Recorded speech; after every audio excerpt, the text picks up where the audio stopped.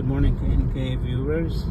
Uh, Alhamdulillah, nandito tayo ngayon sa isang uh, King College University sa Grigor at maghahatid tayo ng ating uh, uh, freelance sa mga new, newly subscriber ng ating YouTube channel ang KNK Vlog.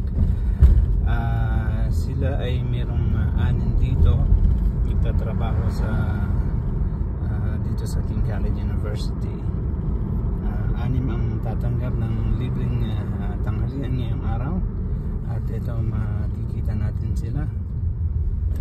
At uh, kukuha na natin sila ng konting mensahe sa kanilang uh, pag-subscribe. Dahil makakatanggap sila ng libreng tanghalian. Okay? So andito na po. Nakaabang na sila para i-receive nila ang kanilang uh, free lunch. Okay. Sana sila? Antabayan na natin. Uh, nasa loob pa siguro sila. Wait lang